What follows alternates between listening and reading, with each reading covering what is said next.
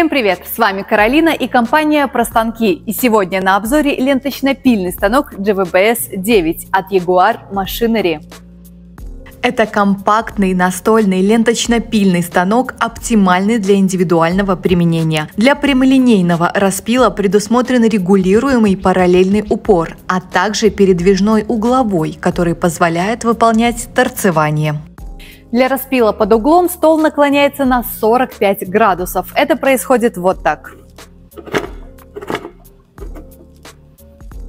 Направляющие пильного полотна оснащены подшипниками, что позволяет более надежно удерживать полотно, предохранять полотно от нагревания и нежелательного износа. Станок оборудован более мощным двигателем, чем у аналогов – 450 Вт. Есть возможность подключения аспирации – удобный способ замены полотна. Ширина ленты составляет от 30 до 13 миллиметров. Ознакомиться со всем ассортиментом ленточно-пильных станков можно на нашем сайте. Работайте с удовольствием на нашем оборудовании. Подписывайтесь на канал, ставьте лайки и до новых встреч!